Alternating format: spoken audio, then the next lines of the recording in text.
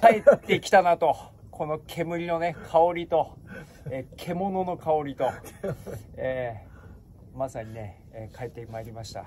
はい。ライフスタイルだったり生き方をメッセージとして見せてくれているのが私の中では、まあ、一つ縄文さんかなというふうに、えー思っているわけですね。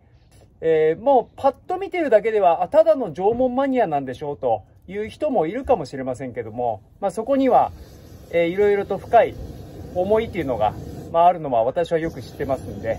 今回日本全国回っての平和プロジェクトといいますか、まあ、教育的なプロジェクト、まあ、そこに行くにあたってどういう思いを持っているのかっていうことも改めてちょっとお聞きしたいなっていうふうに思ってたんですよね。はい。まあ、なんで忙しい時期ではあるんですけども、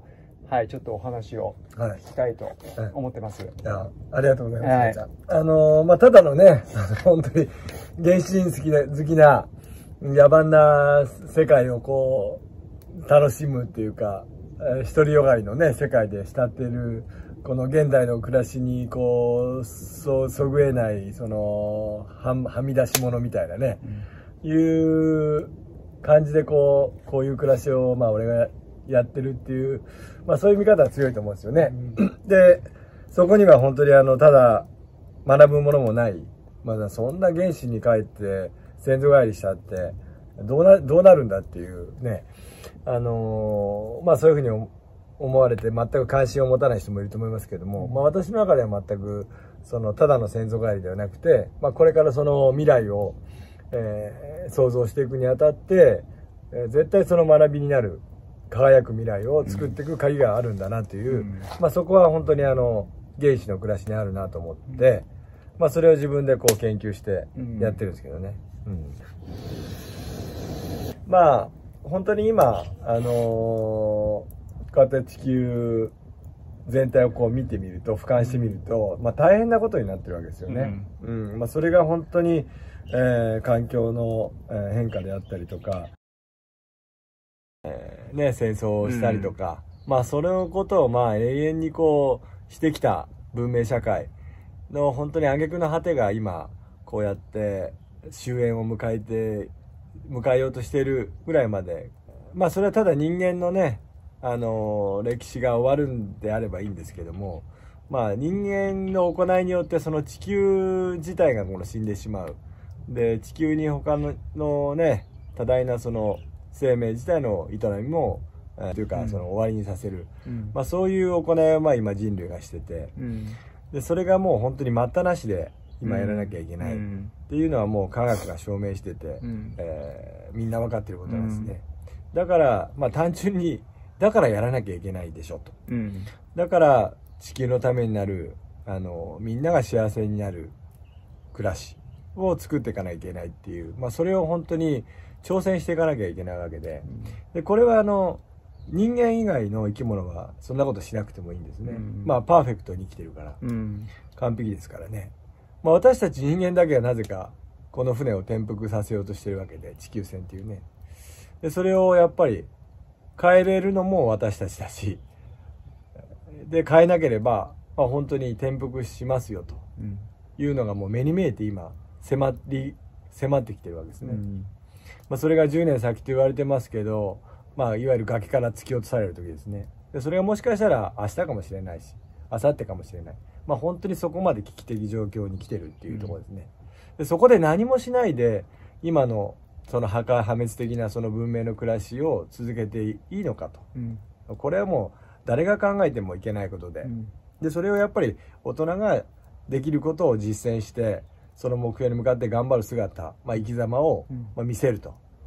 やっぱりそれが絶対必要だなと思いますね、まあ、それはあの大人だけではできないことで,、うん。で世代を超えた、えー子供そして年配の方含めて、うん。そしてましまた日本だけでもできないことで、うん。まあ、世界的に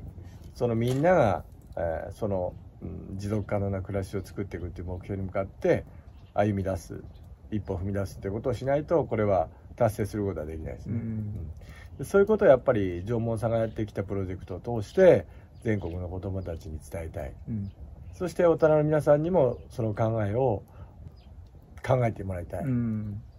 どう大人が今行動したらいいのかっていうことですね、うん。とにかく変えていかなきゃいけない、うん。うん、でこれはすすごい難しい超難しい問題ですけど、うん。でも考え方によっては心を一つ変えるだけであの簡単に変わってしまう世界がそこにあるなと私は思ってて、うん。やっぱりその心の中に善も悪もあってその悪い部分を消すにはその善の部分を本当に自分の心でよし変えようとこうやって自分で心で決意すればうん。変わっていくと。こんな簡単なことなのになぜできないかっていうとこなんですね。うん。だからそれは頑張ればできるでしょううん絶対それは無理なことじゃないなと思ってますけどね、うん。はい、まあ人間が人間らしいさを発揮できるっていうのは、まあ、道具があるからなんですけども、でその道具をなぜ使ってるかっていうことをすら私たち人間は分かってないんですよ。うん。でその道具を初めから人類は使ってなくて、うん。まあ、ある時時からその道具を手にしてものを作り始めたんだけどもその目的が必ずあるわけで。で今のこの人間のこの暮らしを見てみると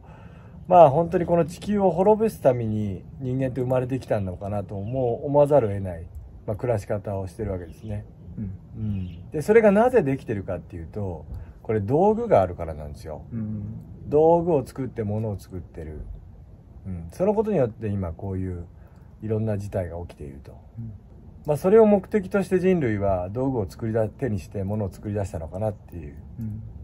ことなんですね。今結果的に見るとね、うんでもそれはどう考えても違うだろうと、うんうん。うん。この地球上に誕生する生命の中で無駄なものとかその必要のないものとかうん。は絶対ないわけで、うん。うん。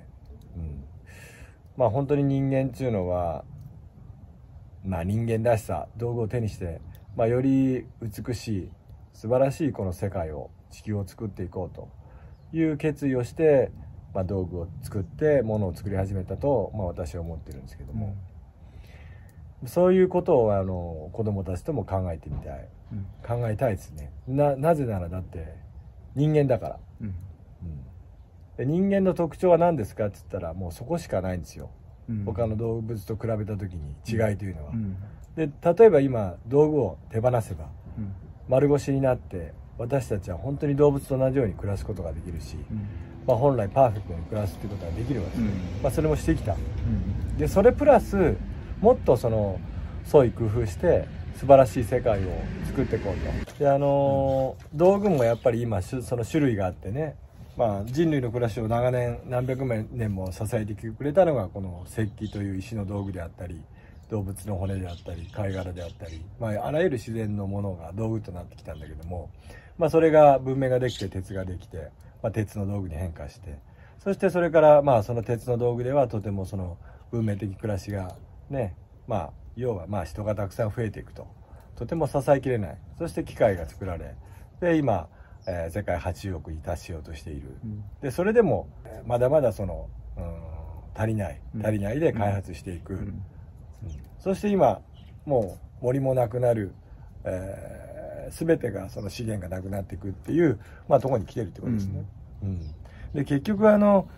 資本って何だって考えたら自然の恵みなわけで、うんこの資本がなくなったら資本主義資本きまあこの経済は成り立たないわけで、うん。まあ、そういう本当に根本的なことも分からず経済最優先でやってる今の、うん暮らしっていうのはまあ異常異常を通り越してアホですよね、うん。うん。でそういうことがやっとこの年になって気づいて気づいたしうん。でこれはやっぱり教育が非常に大切でうん。やっぱり今子供たちに何を教えるかって言ったらその学校のテストがいい点取れる勉強ではなくて本当にその地球のためになる仕事って何だと暮らしって何だっていうことをやっぱり真剣に考える大人も含めて先生も含めて考える、うん。まあ、そういう教育が絶対必要なんですよね。うん。でそれやっぱり学校でいきなりできない。そういう中で縄文さんやってきたっていうプロジェクトを通して子どもたちにと一緒にそういうことを考えてうん。あの輝く未来を作っていきたいなと思うんですね。うん。まあ、そのためにあの一つ一つえー、積み重ねて大事に、えー、積み重ねてきて、えー、今回のプロジェクトという形になっています。はい、多くの人たちの支えがあって、え、成り立ってますけども、まあ、プロジェクト全部の達成までには、まだまだ、えっ、と、皆さんのサポートも必要だということで、はい、これからも、え、縄文さんがやってきたも、ぜひよろしくお願いします。よろしくお願いします。まあ、本当にあの、縄文さんやってきたプロジェクトをね、できるのも本当に皆さんのお力添えがあってこそのこのプロジェクトを実行できるっていうことなんですけどもみんなのみんなが幸せになる船をみんなの力で作っていくっていう、うん、そして関わってもらうことによってやっぱり自分もその行動を一歩起こしているという気持ちにやっぱりなって、えー、みんながつながっていったら必ず人類のその理想、うんまあ、文化活動を通して当然その人類の理想を実現していくっていう活動は実を結んでいくと思うんですね。まあ、ぜひとも皆さんあの諦めずに、まあ、子供たちもよく伝えるんですけども、まあ、コンコントントン一緒のでやってて、まあ、非常にこの進んでるか進んでないか分かんない、うん、あの途方に暮れるような仕事ですでもそこで諦めたら放り投げたらもう絶対に船は完成しないわけで諦めないで必ずその人の人の、えー、前へ進んでいけば必ず船はできると。はい。なので諦めずにみんなで手を手ねつないで心を一つにして輝く未来。本当に、えー、平和な世界真の平和な世界を作っていきましょう。よろしくお願いします。ありがとうございました。はいありがとうございました